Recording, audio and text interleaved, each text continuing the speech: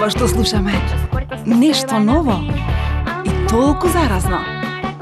Само препуштете и се на музиката и со еден скок вие сте во светот на Иза.